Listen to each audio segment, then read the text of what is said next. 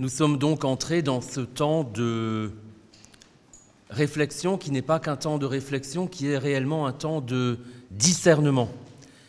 Et nous sommes donc d'ores et déjà dans ce qui fait le cœur de cette euh, démarche euh, que l'on appelle synodale, qui en fait n'est pas de faire une théorie supplémentaire sur la synodalité, mais qui est bel et bien de nous donner une méthode pour continuer d'avancer d'avancer pas uniquement ensemble, mais de marcher avec. Vous voyez, il y a une différence. Avancer ensemble, c'est un peu un, ensemble voilà, qui avance euh, de manière un peu euh, voilà, uniforme et euh, indistincte.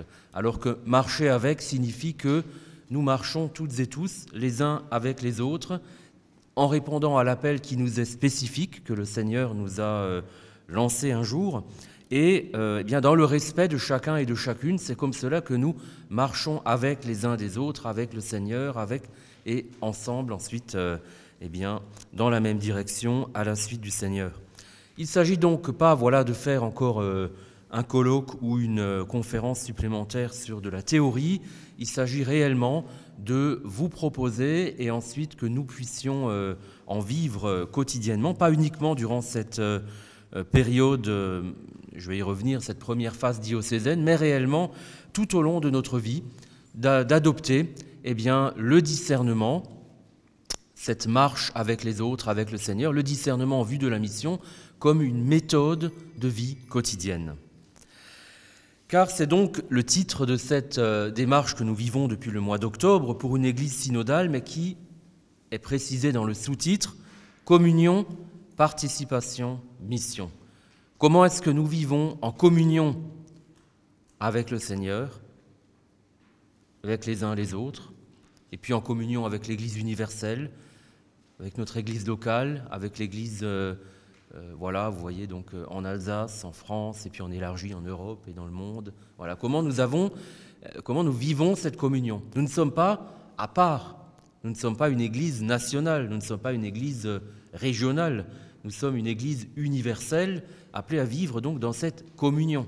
Cette communion, on va y revenir dans un instant, ne peut se vivre que si eh bien, nous nous tournons vers celui qui nous a appelés et qui est au début, à l'origine euh, de, de, notre appel, de notre marche, de notre consécration au Seigneur. C'est lui qui euh, fait notre unité, c'est le Seigneur lui-même. On n'est donc pas là pour donner un programme euh, euh, idéologique, que sais-je. Non, on est là pour euh, nous tourner vers le Seigneur et entrer réellement dans poursuivre, approfondir cette vie intérieure, ce feu sacré, ce que nous avons au plus profond de nous-mêmes et qui nous fait aller de l'avant et eh bien être unis pour euh, servir le Seigneur au cœur du monde, car c'est là notre unique objectif.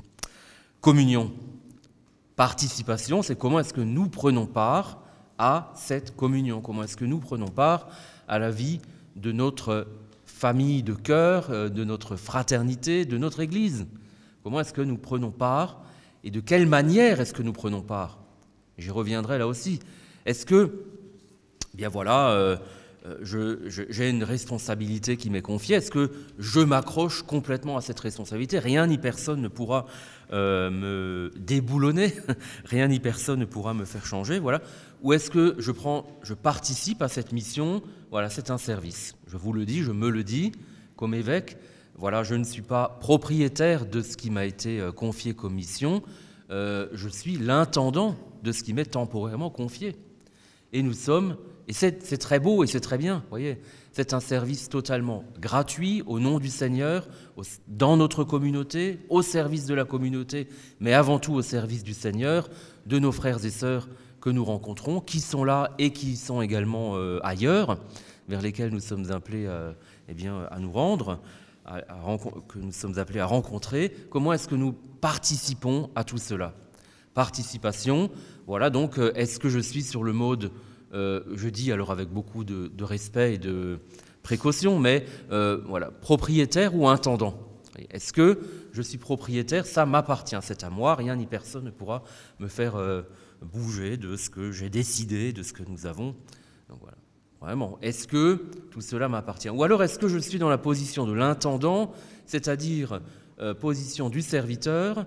Euh, Le serviteur, eh bien, nous avons reçu une mission qui va durer un certain temps. Et puis nous faisons tout ce que nous pouvons pour remplir cette mission, non pas pour faire seulement plaisir à monsieur le curé ou à mes frères et sœurs en communauté paroissiale, mais parce que nous voulons en premier servir le Seigneur et que tout ce que nous faisons, que nous soyons fleuristes, chargés du nettoyage, chargés de la liturgie, des finances, du, chant, euh, d'autres grands projets, que sais-je. Voilà, il n'y a pas de limite, vous voyez. Tout ce que nous faisons, c'est pour le Seigneur, au cœur de notre communauté.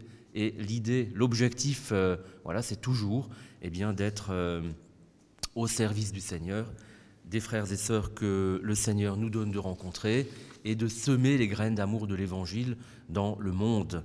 Car tout cela, cette communion, cette participation, n'a pas de sens si ce n'est pas en vue de la mission, c'est-à-dire en vue d'aller à la rencontre des autres, pour entrer en dialogue, pas uniquement pour boire un thé, mais pour euh, réellement proposer euh, ce programme de vie qu'est l'Évangile, proposer de partager ce qui nous fait vivre et ce qui euh, nous réjouit, nous donne de l'espérance, foi, espérance, charité, voilà, tout ce que nous avons au plus profond de nous-mêmes comme chrétiens. Voyez donc, voilà, pour une église synodale, on précise euh, d'entrée de jeu communion, vous avez compris, participation, chacun, chacune, active, et puis en vue de la mission, c'est d'aller euh, vers les autres. Ceci, donc, cette démarche se répartit en, en, trois étapes. Vous le savez probablement. La première, qui a commencé au mois d'octobre et qui va se terminer d'ici le mois de juin, qui est la phase diocésaine, qui est une phase de consultation, de participation, mais pas uniquement de consultation. On enverrait un rapport au secrétariat à Paris puis à Rome, et puis on aurait terminé notre travail. Non, l'idée c'est que nous, nous, envoyons notre contribution euh, locale diocésaine, mais que nous puissions en retirer des idées forces missionnaires pour euh, nous faire aller de l'avant, pour euh, bien, rallumer en nous le feu sacré aussi, et, euh, et puis peut-être encourager celles et ceux qui ont arrêté, qui ne sont plus là, qui, euh, en raison de la pandémie ou pour bien d'autres raisons, peut-être de retrouver eh bien, voilà, le chemin euh, de notre communauté fraternelle, de, eh bien, du service du Seigneur au cœur de nos communautés euh, paroissiale. Phase diocésaine, puis il y aura une phase euh, continentale au niveau de l'Europe, qui sera la deuxième étape,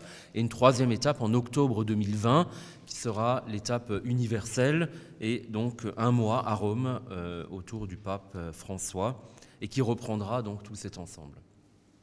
Mais vous voyez donc qu'il ne s'agit pas d'attendre octobre 2023 et ensuite la publication du rapport final pour qu'il y ait des résultats. Ce que nous souhaitons, pas seulement des résultats, ce sont des fruits, parce que ce sont dès maintenant et dès euh, tout à l'heure, quand nous allons sortir de cette salle, euh, de nous dire et puis de le partager autour de vous. Voilà, nous avons euh, décidé de choisir eh cette dynamique de vie, n'est pas une théorie, mais une dynamique de vie, qu'est le discernement en vue de la mission. Cet appel du pape se situe aussi dans le prolongement de l'enseignement de l'ensemble des papes.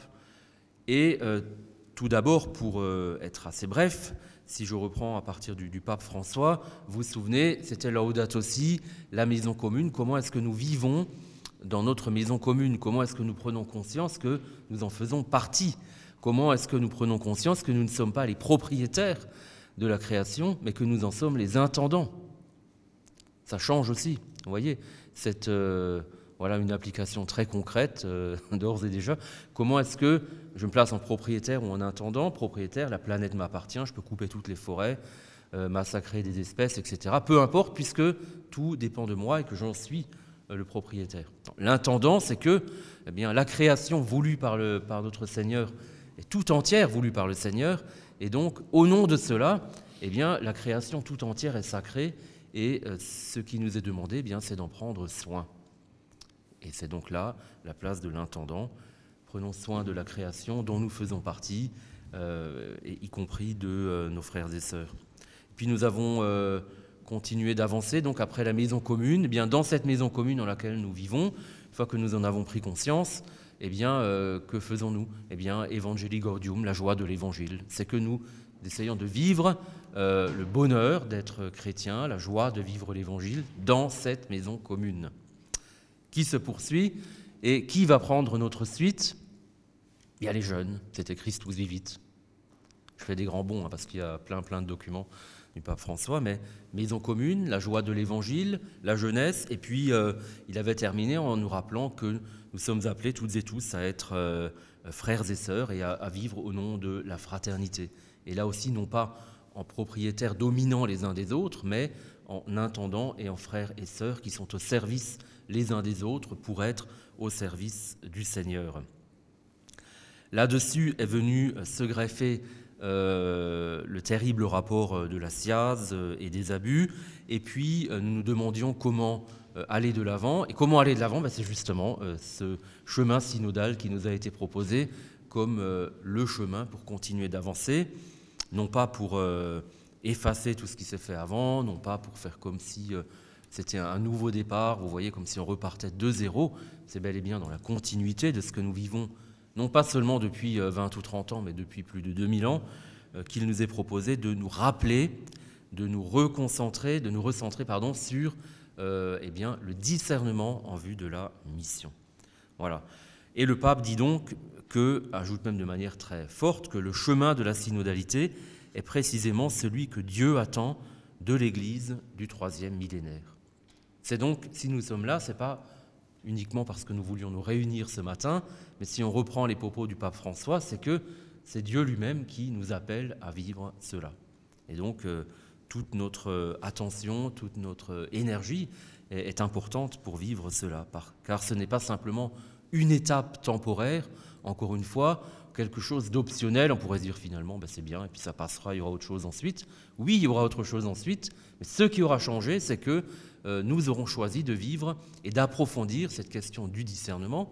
Nous n'aurons pas le temps de l'approfondir ce matin, mais ensuite vous serez appelés à, vivre cela, à travailler cette question du discernement en vue de la mission dans vos paroisses, dans vos groupes de catéchèse, dans vos équipes pastorales, dans les conseils de fabrique, dans tout ce qui existe et tout ce qui fait notre vie euh, diocésaine. Voilà, donc notre marche ensemble, le fait de marcher avec les uns les autres, à la suite du Seigneur est de fait ce qui réalise et manifeste pleinement la nature de l'Église comme peuple de Dieu, pèlerin et missionnaire. Ce n'est pas un peuple statique. Peuple de Dieu est pèlerin et missionnaire. Jésus n'est jamais revenu en arrière et ne s'est jamais arrêté. Jamais dit, bon, on en a assez fait, on va s'arrêter maintenant temps en temps c'est très difficile, de temps en temps c'est pas facile, de temps en temps on est découragé, de temps en temps on ne sait plus trop comment avancer. Ce qui est certain, c'est que nous ne devons jamais nous dire le feu sacré, notre moteur intérieur est éteint. Si on le pense, ça peut arriver, hein. Qu'on ne sache plus comment avancer, qu'on ait l'impression d'être, euh, voyez, comme euh, gelé, c'est la saison, refroidi, congelé, on n'arrive plus à avancer. Dans ce cas, il faut nous tourner vers euh, des frères et sœurs, car le, là où deux ou trois sont réunis en mon nom, je suis au milieu d'eux, pour rallumer ce feu sacré, le moteur intérieur, pour que nous continuions d'avancer. Je me permets maintenant deux, euh, deux apartés qui vont... Je vais reprendre rapidement les piliers de la vie des missionnaires qui vont au loin, que nous pouvons nous appliquer ici, et puis je vais vous donner un exemple très concret de ce que nous avons vécu avec les évêques comme démarche synodale. Tout d'abord, les quatre piliers que nous avons, les quatre repères pour notre vie missionnaire que nous pouvons adopter chacun et chacune. Et puis, celles et ceux à qui vous allez partager cela. Notre vie de chrétien, elle est quoi? Elle est tout d'abord caractérisée par ad vitam. C'est euh, ad vitam, alors on dit des fois jusqu'à la mort, je préfère dire pour la vie, parce que c'est toute notre vie. C'est un peu plus optimiste, vous voyez. Mais pas que. C'est que pour la vie, c'est aussi pour celui qui est la vie. Ad vitam, ce n'est pas uniquement chronologique. Oui, c'est un engagement euh, pour toute notre vie qui ne s'arrêtera pas euh, avec notre vie terrestre, qui continuera, voilà. Donc, euh, et c'est résolument de choisir la vie. Voilà, je choisis la vie et je choisis celui qui est la vie. Et en ce moment, dans cette période de pandémie qui n'en finit plus, ben voilà, ça, peut nous faire du bien de nous dire tous les jours, ouais, je choisis la vie, je choisis celui qui est la vie. Voilà, je suis chrétien, engagé, ad vitam. Deuxième point, ad extra. comme Jésus qui est sorti du Père pour s'incarner, venir euh, au cœur de notre humanité, ad extra en sortant de soi-même.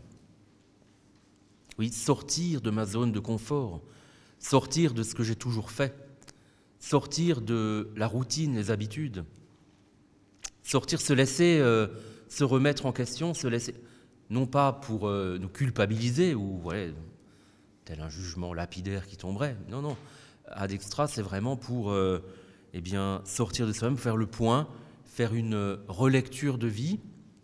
Comment est-ce que je relis ma vie pour me dire ce que je fais, voilà, euh, c'est pas uniquement une routine. Quelquefois, vous voyez, on est engagé, puis on se dit, est-ce que j'y vais encore? Est-ce que j'ai vraiment envie? Est-ce que il y a comme une lassitude qui s'installe. Et alors, il faut nous rappeler, est-ce que je le fais parce que je choisis la vie et celui qui est la vie? Et est-ce que bah, peut-être qu'il est temps aussi de, demander une nouvelle mission, de changer de, On n'est pas obligé de rester toute sa vie responsable de telle ou telle euh, euh, chose ou tel ou tel euh, aspect dans notre communauté paroissiale sortant, sortir de sa zone de confort, se remettre en question, relire sa vie, sortir de soi-même. Parce que, voyez, sortir de soi-même, ça nous demande. Le Seigneur nous appelle à grandir, à croître. Il ne nous appelle pas à nous recroqueviller, à rester des personnes terrorisées. Et, allez, c'est la saison congelée, vous voyez. Euh, hein. non, non, on est appelé à bien à, croître, à grandir, à nous épanouir au nom du Seigneur. Euh, être chrétien, ce n'est pas une, série d'ennuis supplémentaires qu'on aurait dans la vie quotidienne. Être chrétien, c'est un chemin d'épanouissement en vivant l'Évangile au nom du Seigneur dans notre communauté et en allant de l'avant. Ça peut paraître euh, quelquefois, mais tout ça c'est utopique. Euh, oui, non, c'est pas utopique, c'est que c'est un idéal, mais euh, c'est l'idéal qui doit nous faire aller de l'avant. Sinon, on n'a aucune raison de continuer d'avancer. Comme dans une famille, eh bien de temps en temps, il y a des choses très belles et des fois des choses plus difficiles. Et pourtant, on continue d'accompagner ses enfants, on continue d'accompagner ses frères et sœurs, ses cousins, cousines, et puis notre famille de cœur avec des amis. Voilà, on, ne balaye pas tout. On essaie toujours de trouver un chemin pour aller de l'avant. C'est ce qui nous est demandé. Ad vitam, ad extra, et puis euh, ad gentes, parce que tout ce que nous vivons, ce n'est pas uniquement pour nous-mêmes, ce n'est pas uniquement pour faire tourner euh, bien notre réunion, notre cercle, notre que sais-je. Non, c'est aussi parce que euh, nous sommes mission envoyés vers les autres. Est-ce que nous n'avons dans nos cercles de relations que des gens qui pensent comme nous?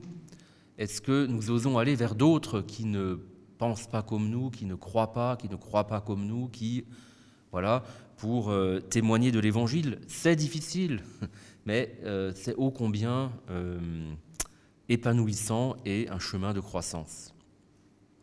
Croyez-en ma euh, courte expérience, euh, bien quand on va euh, proposer, témoigner de l'Évangile, il ne s'agit pas d'être un bulldozer ou, voyez, mais quand on va témoigner de l'Évangile au cœur de, de, pays non chrétiens, et ici c'est pas, pas difficile hein, pour aller trouver des, des, personnes, des zones non chrétiennes, disons, des personnes qui ne suivent pas Jésus-Christ, eh bien, quand vous arrivez à en parler au nom du Seigneur et avec le Seigneur, avec beaucoup de respect, de charité, euh, d'espérance, euh, eh bien, euh, vous-même, vous vous réalisez, vous-même, vous grandirez, vous-même, vous aurez cette croissance intérieure, parce que plus on essaie de laisser le Seigneur passer les uns aux autres, plus nous-mêmes, nous grandissons intérieurement.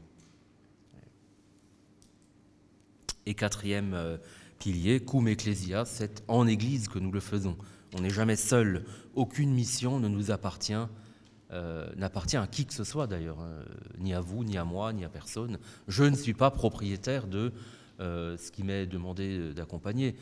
J'accompagne la fédération de charité, euh, la pastorale des jeunes, ce chemin synodal, mais ça ne m'appartient pas. je suis l'intendant de ce qui m'est confié avec une équipe que je me permets d'ailleurs de saluer, donc euh, avec euh, Olivier Tarozzi, euh, Marie-Claire Plumeret, Karine Flick, Agnès Lederley. Nous sommes une équipe et nous faisons cela vraiment en étant à votre service et au service les uns des autres. Ça ne nous appartient pas, vous voyez. Et donc on est en communion avec les uns les autres, en communion avec l'Église universelle, l'Église locale. On n'est jamais seul à vivre cela. D'ailleurs, vous, si vous chercher des exemples euh, à contrario, vous verrez que souvent Là où est la catastrophe, c'est quand quelqu'un s'approprie seul une mission, qu'on soit prêtre, laïque ou évêque. Hein. Euh, si on se dit, moi tout seul, je sais mieux que tous les autres, parce que le Seigneur m'a appelé et que je dois imposer aux autres ma volonté, ça risque d'être délicat. voilà, premier exemple. Deuxième exemple euh, que je vais vous donner, en nous rappelant que c'est donc une question de fond, vous l'avez compris, qui nous pousse et nous guide.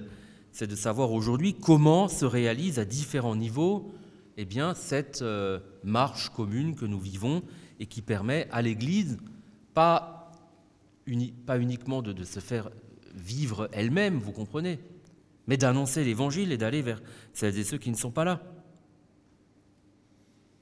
Il ne s'agit donc pas de mieux fonctionner, mais de discerner dans la mission. Le fonctionnement, ça c'est pour la vie quotidienne et on n'a pas besoin, souvent on sait ce qu'il faut faire, c'est le courage qui nous manque. On fait, fonctionnement. Mais il ne s'agit pas là de mieux fonctionner, mais il s'agit de discerner pour la mission. Et j'aime bien rappeler que dans l'Église, il n'y a pas de fonction, il n'y a que des missions. Cette question, à partir de ce stade, exige de se mettre à l'écoute de l'Esprit Saint qui, comme le vent, souffle où il veut et tu entends sa voix, mais tu ne sais pas d'où il vient ni où il va. Jean 3, 8. En restant ouvert, eh bien, au, ce que le pape François appelle aux surprises de Dieu et aux surprises que l'Esprit prédisposera certainement pour nous tout au long du chemin. Un exemple très concret que nous avons vécu à Lourdes avec les évêques de cette démarche euh, synodale, qui pourra peut-être vous être utile pour la suite euh, dans vos paroisses. Euh, vous vous souvenez qu'au mois de novembre, la, conférence épiscopale était tout à fait particulière en raison de la remise du rapport de la SIAZ et que nous étions attendus au tournant, on ne savait pas trop comment euh, ça allait se passer, mais on savait que beaucoup attendaient beaucoup de nous.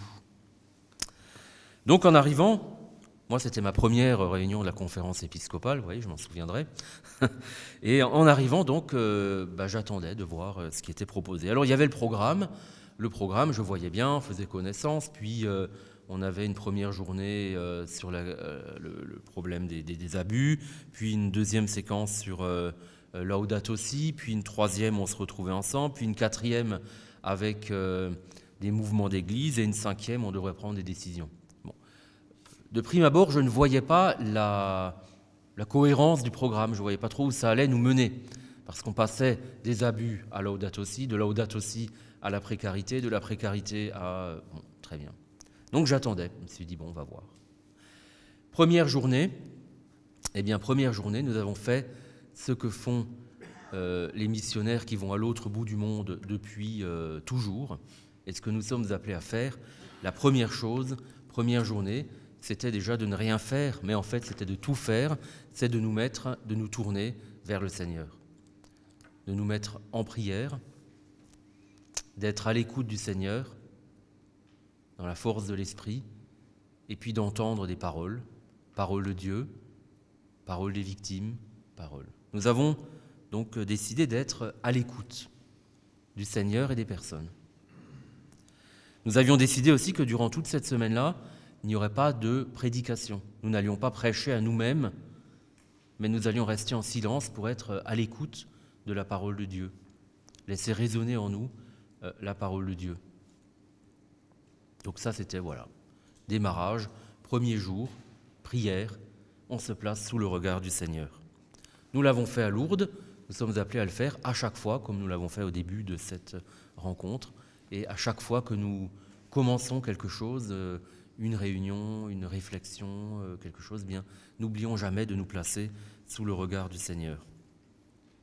Puis nous avons entendu des paroles fortes, paroles fortes qui nous venaient euh, de la part des victimes. On ne pouvait pas rester évidemment insensibles et nous avons vraiment été bouleversés.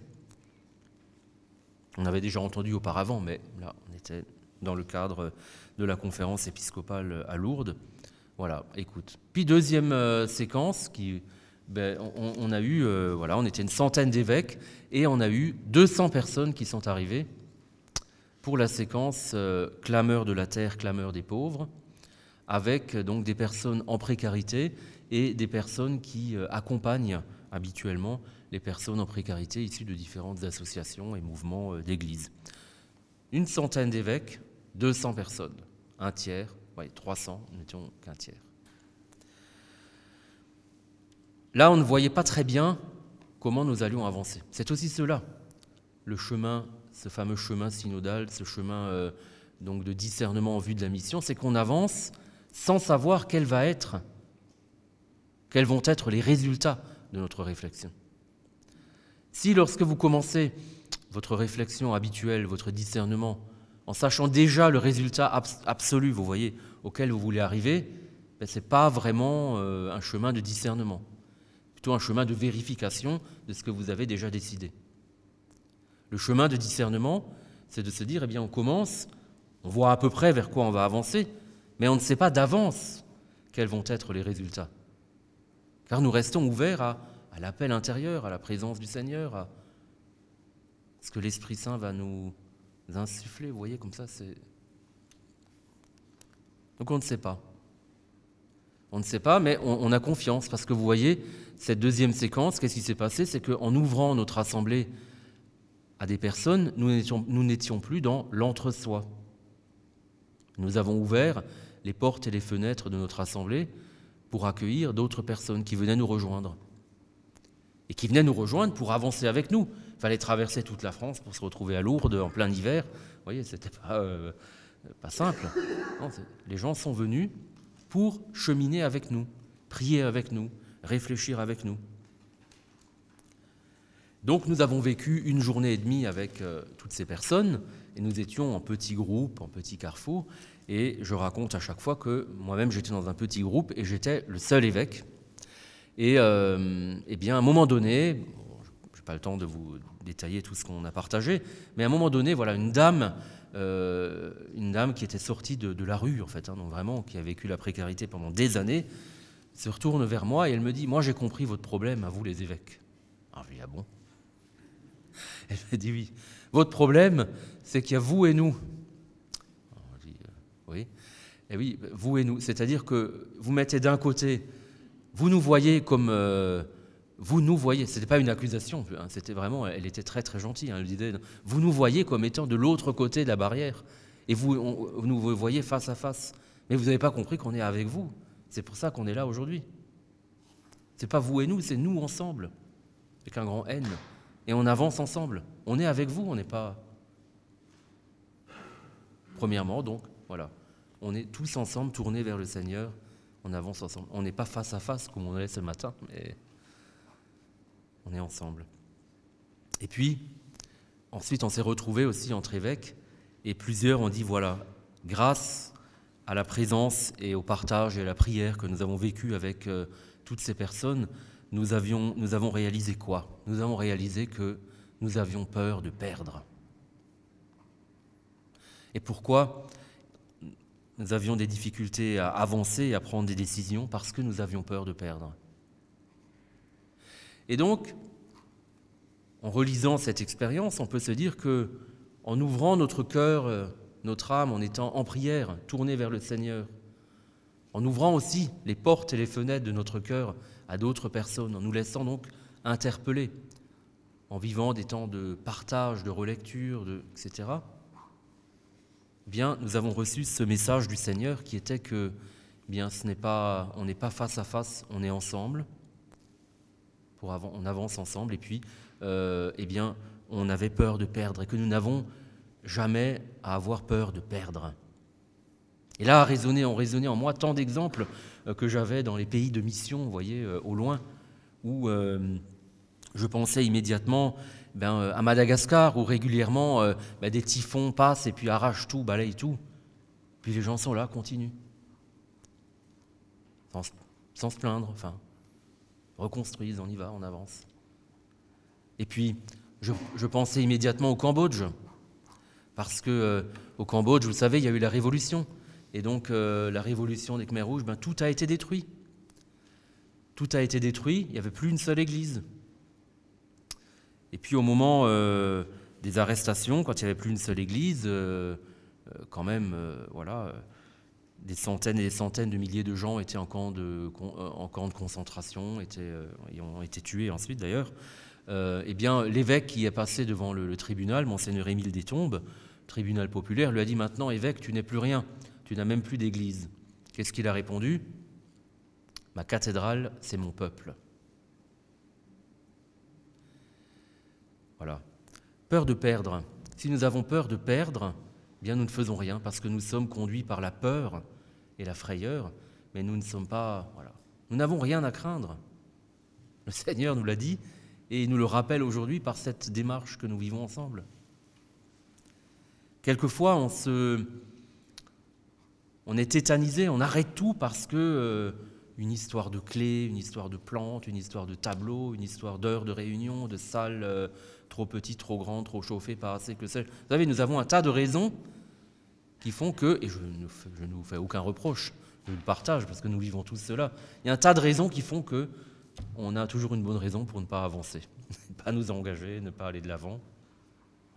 Et là, le Seigneur nous interpelle en disant, est-ce que c'est vraiment une raison tellement importante qui fait que, plus importante que les chrétiens qui se trouvent à l'autre bout du monde et dont on détruit euh, les églises, euh, qu'on met en prison euh, et qui continuent d'avancer, est-ce que c'est plus important que ce qu'eux vivent au point où justement on n'aurait plus de raison de nous engager et de nous arrêter.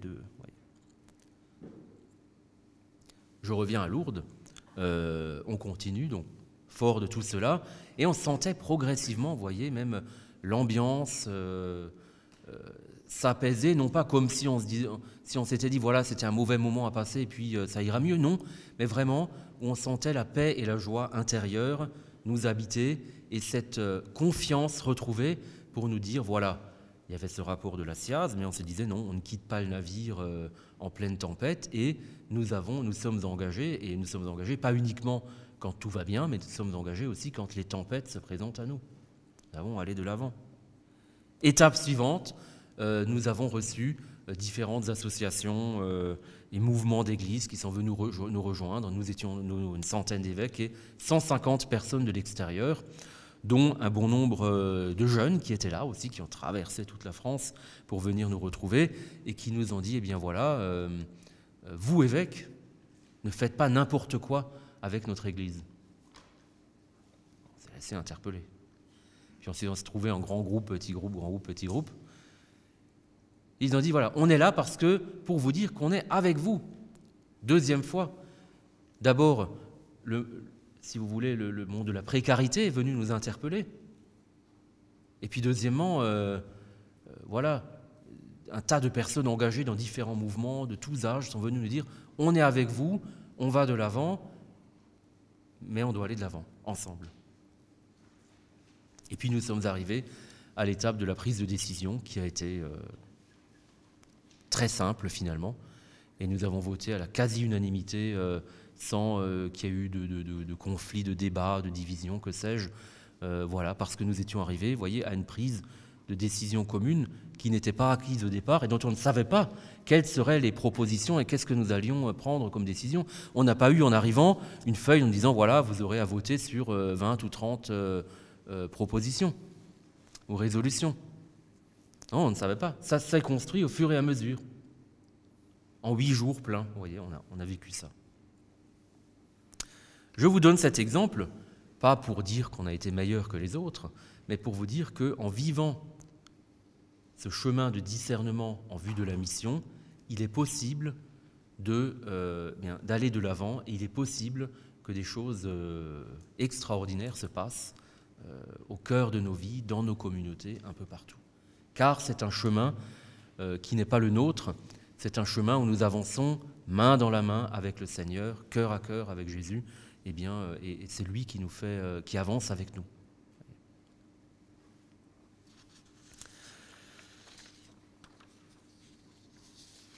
Nous avons donc, ben, vous l'avez compris maintenant, cet appel à marcher ensemble. Le pape François rappelle que c'est une étape historique très importante euh, pour toute l'Église universelle et qu'il s'agit de bien d'avoir la capacité d'entretenir la capacité d'imaginer un futur euh, différent euh, pour l'Église et pour ses institutions à la hauteur de la mission qu'elle a reçue. Différent, c'est qu'il ne s'agit pas simplement de tout changer pour changer, qu'il s'agit, le pape François insiste aussi en disant on ne transforme pas l'Église en parlement, on ne transforme pas, il ne s'agit pas de gagner des voix pour faire passer son idée euh, pour l'emporter sur d'autres. Il s'agit en fait, le futur différent euh, se discerne. On ne sait pas ce qui va euh, sortir de ce chemin à l'Église au niveau universel. Voyez. Mais ça demande beaucoup de confiance intérieure dans le Seigneur, en nous-mêmes, envers les autres, car nous allons discerner au fur et à mesure. Et justement, eh euh, pour rester en paix et garder la paix et la joie intérieure, c'est qu'il ne s'agit pas de dire maintenant je vais arriver, je vais essayer d'imposer mon idée aux autres. Voilà. Ça, c'est l'inverse de la démarche euh, synodale. Pas non plus là pour gagner voyez, des suffrages, en disant euh, je dois à tout prix faire passer, on fait du lobbying pour faire passer son idée, et puis on arrive, on vote comme un seul homme, et puis hop, voilà, on est content. La méthode de discernement en vue de la mission, c'est autre chose c'est être euh, à l'écoute de l'esprit, euh, de celles et ceux qui nous entourent, de discerner ensemble, dans le respect les uns les autres des missions qui nous sont confiées, et d'avancer comme cela, dans la confiance que euh, eh bien, le maître de la moisson, c'est le Seigneur. On aimerait voir des résultats immédiats. J'ai rencontré bien des groupes déjà depuis que nous avons commencé ce temps de, réflexion dans le diocèse, me disant oui, ben alors euh, quand est-ce que ça va changer, quand est-ce que ceci, cela, et puis dans notre groupe on voudrait que plein de jeunes viennent euh, prendre la relève, et puis ceci et cela, et on voudrait que notre chorale ait euh, triple de nombre de... je comprends, je comprends. Mais le chemin qui est proposé de discernement en vue de la mission, ce n'est pas non plus une solution magique qui va faire que, voilà, on va renflouer d'un seul coup notre chorale ou euh, notre équipe ou que sais-je. Ce n'est pas non plus euh, ce n'est pas non plus la, garantie que nous devons continuer absolument comme nous avons fait depuis toujours. Donc il ne s'agit pas non plus de vouloir faire à tout prix survivre peut-être des projets qui ont été commencés il y a fort longtemps. Et bah, vous savez, c'est comme des plantes. Hein. certaines d'autres meurent, d'autres, euh, c'est comme dans une forêt, comme dans un champ, comme dans un jardin. Eh bien, euh, voilà. Si on reprend Laudato aussi, notre communauté euh, chrétienne, notre, la, vie que nous vivons quotidiennement, eh bien, c'est comme un, grand jardin, comme, vous voyez, certaines choses poussent, naissent, comme dans un jardin. Sûr, vous avez des, jardins ou des plantations, vous connaissez des gens, puis on s'émerveille de dire tiens, cette fleur, j'ai jamais plantée, elle pousse. on est étonné ou dans un potager, euh, voilà, un légume qui arrive alors qu'on l'a jamais planté, un plant de tomate en plein milieu de, je ne sais pas, voilà, quelque chose. Surprise. eh bien, il y a des choses qui poussent et d'autres euh, euh, qui meurent et d'autres. C'est le cycle de la vie. C'est le cycle de la vie. C'est très compliqué de vivre cela si on se place uniquement en termes de fonction et de fonctionnement de l'Église. Et je ne dis pas que c'est facile, mais c'est plus facile à vivre plus aisé à vivre si on le vit ensemble et en nous plaçant, là encore une fois, dans, vous voyez, mouvance de l'esprit, en étant, se disant, voilà, je ne suis pas là pour à tout prix faire survivre mon groupe. En premier, je suis là pour, euh, bah, tant mieux, hein, si les groupes continuent, je ne dis pas le contraire, mais nous sommes là en premier pour discerner, mais quelle est donc ma mission? Et pour vivre ce discernement, qui est, vous le savez, choisir entre le bien et le mal, mais pas que, parce que ça, on n'a pas besoin d'être chrétien pour le faire. Tout le monde le fait chaque jour, choisir entre le bien et le mal. Pour nous, il s'agit d'aller faire un pas de plus, c'est de discerner quelle est la volonté de Dieu pour chacun, chacune d'entre nous, là où nous nous trouvons et notre communauté.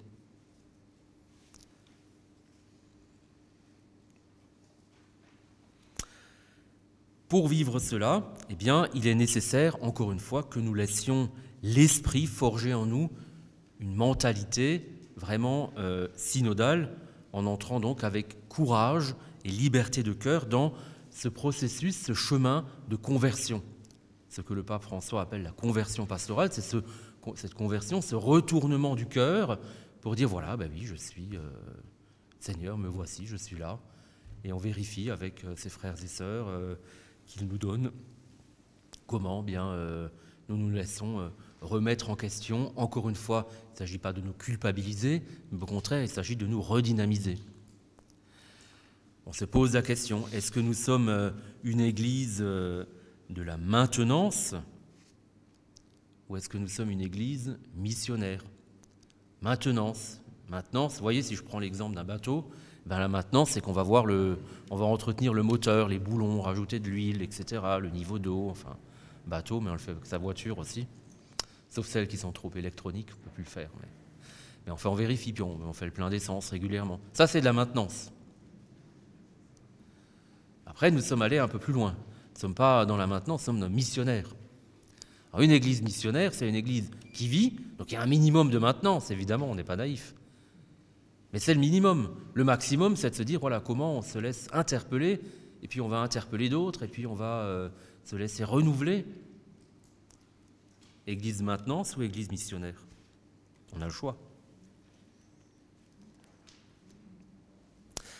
Dans cette marche commune, eh bien, nous demandons à l'Esprit de nous faire découvrir que la communion, qui assemble l'unité, pardon, dans l'unité la diversité des dons, des charismes et des ministères, existe. Tout ce que nous avons comme euh, dons, charismes, chacun, chacune, n'existe que pour une seule raison, la mission.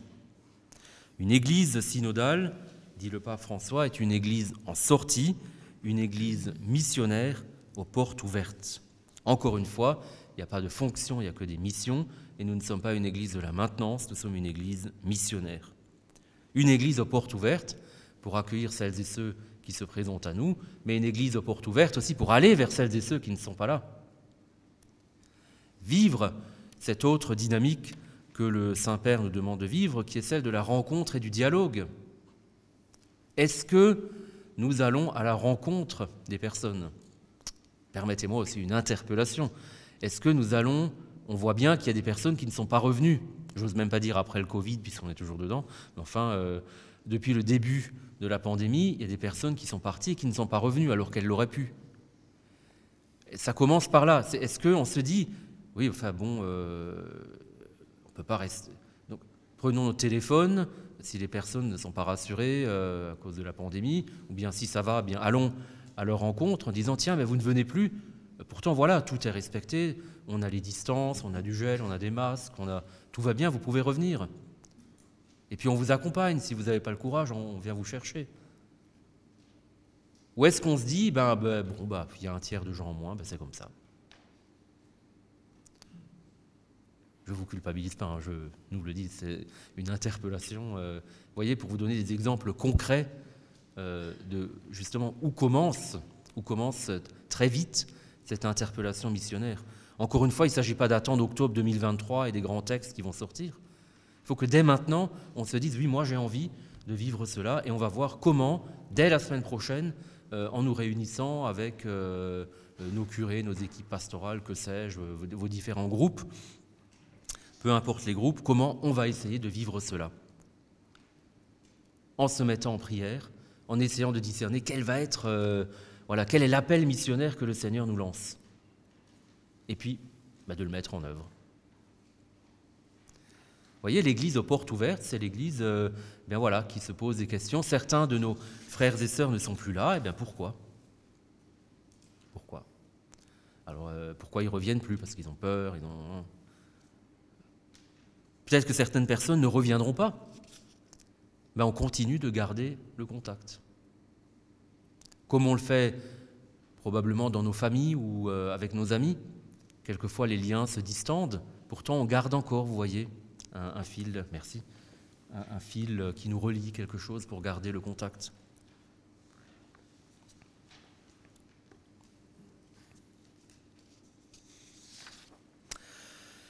Alors cette réflexion, euh, elle s'articule autour de dix pôles thématiques qui ont été proposés par le synode euh, des évêques à Rome, dont d'ailleurs la semaine prochaine, il y aura une visioconférence, euh, un webinaire avec sœur Nathalie Bécard, le samedi 5 février de 11h à midi et demi.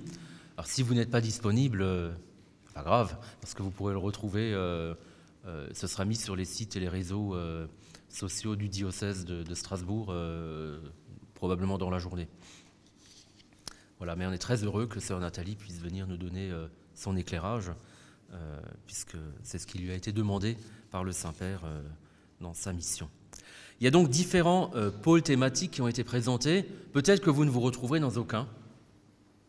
Bah, vous pouvez en inventer un onzième ou un douzième. Hein. Il n'y a pas de.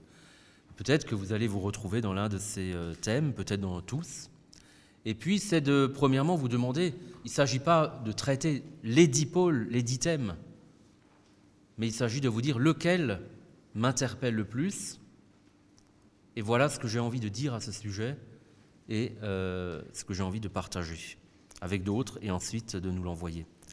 Le premier thème, c'est être compagnon de voyage. Comment est-ce que nous sommes sur la même route, côte à côte, nous avançons. Comment est-ce que nous vivons ce marché avec les autres compagnons de route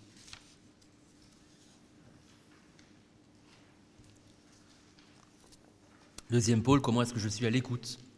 À l'écoute du Seigneur, à l'écoute de l'Esprit, à l'écoute des autres, à l'écoute de la terre, à l'écoute euh, des personnes en précarité, à l'écoute euh, des attentes d'un et des autres, à l'écoute de ce que vivent les autres, ou pas.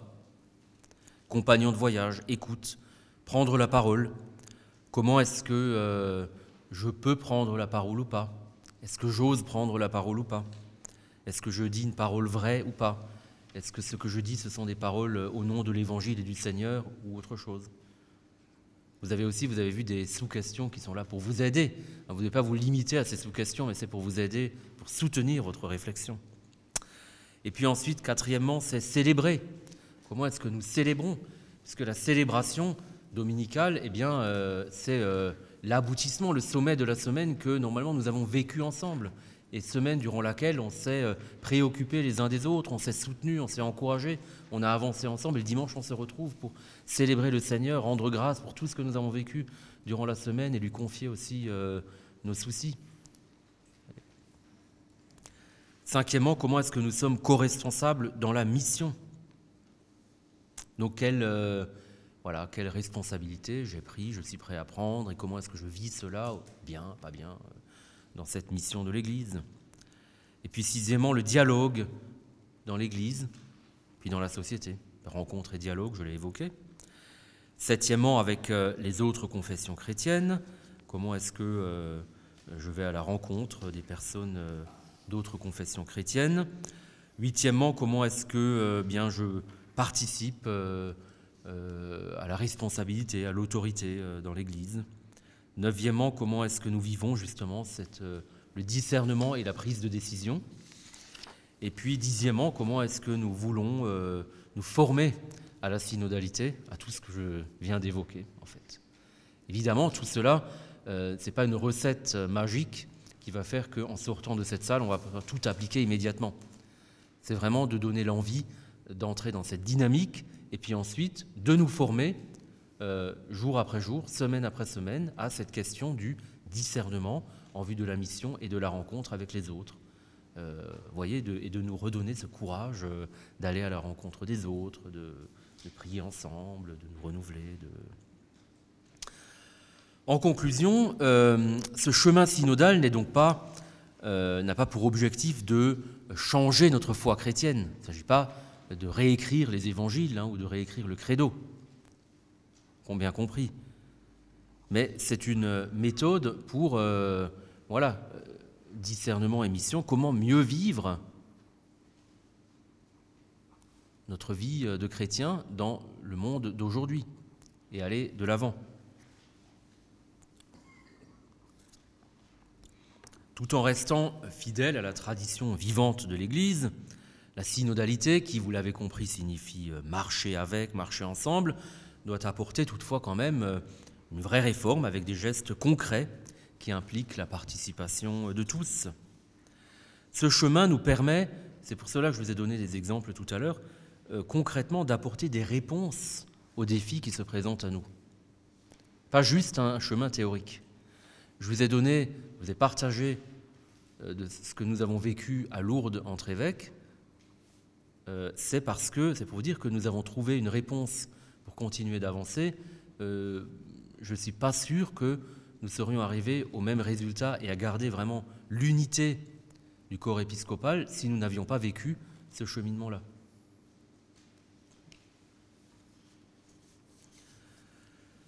Un autre point auquel je vous rends attentif, c'est que les réalités sont plus importantes que les idées. Réalité du terrain plutôt que, les idées. C'est-à-dire on peut avoir de, grandes idées, faire de grands projets, de grandes choses, ou vouloir à tout prix. Et alors l'idée qui tombe dans l'idéologie, c'est encore plus grave, euh, parce que ça ne fait pas avancer, vous voyez.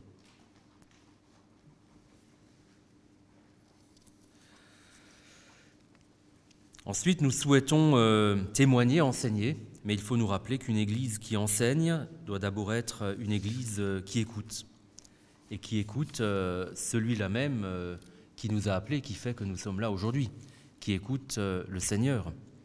Car ce que nous voulons, c'est être guidés par Dieu. Encore une fois, moi je suis venu ce matin, je, viens vous partager cela, non pas pour gagner des suffrages ou avoir votre approbation euh, à main levée euh, dans quelques minutes à la fin de mon intervention. Je viens vous partager cela. C'est un chemin qui commence, que nous vivons ensemble et qui est appelé à vivre tout le temps. Ça ne s'arrêtera pas au mois de juin, ça ne s'arrêtera pas en, 2023. Le discernement en vue de la mission, nous sommes appelés à le vivre tout le temps. Ça ne s'arrêtera pas. Méthode qui nous est proposée pour que nous puissions euh, continuer tout au long de notre vie. Enfin, pour euh, terminer réellement avec euh, ma conclusion, euh, je vous rappelle de nouveau que ce à quoi nous sommes appelés maintenant, c'est vraiment de passer de l'émission, donc toutes nos missions, hein, à la mission. La mission. Nous sommes en état de mission, toutes et tous. C'est la mission au nom du Seigneur de vivre unis à lui, les uns aux autres, en allant à la rencontre des autres.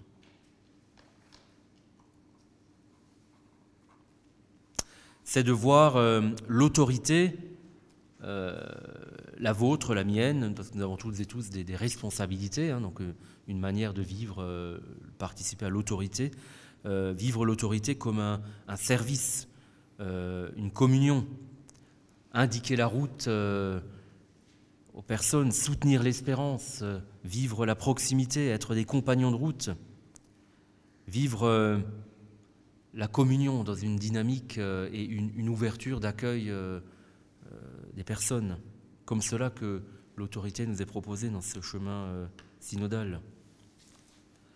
La synodalité, donc, nous est proposée comme mode de vie et d'action de l'Église pour concrétiser ce chemin que nous sommes appelés à vivre, qui est donc une méthode pour toutes et tous,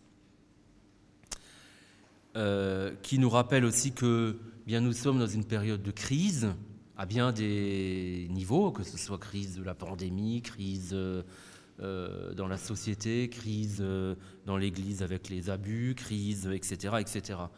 Mais la crise est aussi un temps de croissance, comme nous le vivons à différentes étapes de notre vie quand nous grandissons. On a la crise de l'adolescence, la crise de la quarantaine, la crise de... Mais pourtant, tout ne s'arrête pas pour autant. Crise, croissance. Il ne faut pas confondre crise et conflit. Et si là où nous sommes, surtout si vous avez une responsabilité en Église, vous êtes dans une situation de crise, eh bien de grâce, ne le transformez pas en conflit. Crise, quand il y a crise, eh bien, il faut se dire aussi qu'il y a croissance et donc on fait appel au discernement. Si on n'y arrive pas, il faut faire appel à quelqu'un d'autre de l'extérieur. Ça marche, on l'a vécu à Lourdes. Si dans votre groupe, là où vous vous trouvez, il y a quelque chose qui se passe et vous n'arrivez pas à en sortir, eh bien, euh, mettez-vous d'accord, ça sera une première étape, pour euh, faire appel à quelqu'un d'autre. Deux ou trois personnes d'une communauté voisine, de que sais-je, enfin, qui viendront vous aider à relire et à voir comment avancer. Restez toujours dans un, une dynamique de dialogue, nous rappeler que... Euh, eh bien, euh, la réalité est plus importante que les idées, vivre euh, dans la synergie, c'est-à-dire euh, dans la complémentarité les uns les autres hein, de nos charismes, des dons que nous avons reçus. ne jamais oublier donc cette, la dynamique communionnelle, hein, cette communion qu'on doit toujours garder ensemble. voilà. Le pape François nous appelle à avoir des rêves, Des rêves, ce ne sont pas des illusions.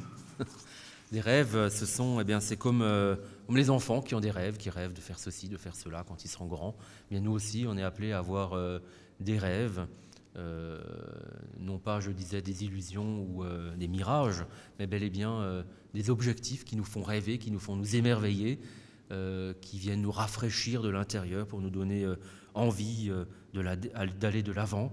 Et en premier lieu, eh bien, c'est de continuer à marcher ensemble, à vivre c'est ce que signifie le mot synode, hein, c'est marcher ensemble, euh, qui est non pas optionnel, mais qui est la dimension même constitutive de l'Église. Nous sommes le peuple de Dieu en marche et rien d'autre. Euh, euh, on n'est pas une association, on n'est pas une ONG, on n'est pas une entreprise, on est le peuple de Dieu en marche. Voilà. Maintenant, frères et sœurs, nous avons une décision à prendre. Nous avons à prendre la décision que qui est en deux volets, d'adopter un rythme de marche qui consiste à aller de l'avant, à avancer, à être en mouvement. Pour que on puisse faire ce premier pas, il faut le décider. Décider d'être un chrétien qui va de l'avant, en mouvement, qui n'est pas statique ou installé. Nous sommes appelés à demeurer là où nous sommes, nous ne sommes pas appelés à être installés, vous voyez, comme chrétiens. Donc une marche qui consiste à aller de l'avant, ne pas être statique. Et puis deuxièmement, nous avons la décision à prendre d'être ensemble. Ça paraît tout simple, mais de ne pas avancer en solitaire, en solo, de décider tout seul ou de vouloir imposer aux autres euh, à tout prix ma décision parce qu'elle est la meilleure au-delà de tout ce que les autres pourraient penser. Euh, ce chemin synodal, c'est donc le choix d'une attitude de dialogue fondamentale que l'on souhaite garder pour toujours, et puis euh, d'entrer en dialogue au nom du Seigneur, avec le Seigneur, au nom du Seigneur, avec les autres, etc. Voilà. C'est ainsi que nous allons euh, vivre ce renforcement des synergies les uns des autres pour vivre l'Évangile, pour plus de justice et de paix dans notre monde, pour vivre proposer le développement, porter, euh, eh bien, euh, porter les graines d'amour de l'Évangile dans le monde tel qu'il est, pas, pas, tel qu'on aimerait qu'il soit, parce que sinon on risque de ne jamais rien faire. C'est aujourd'hui, maintenant. Si on est là, c'est que le Seigneur nous appelle, c'est pas par hasard.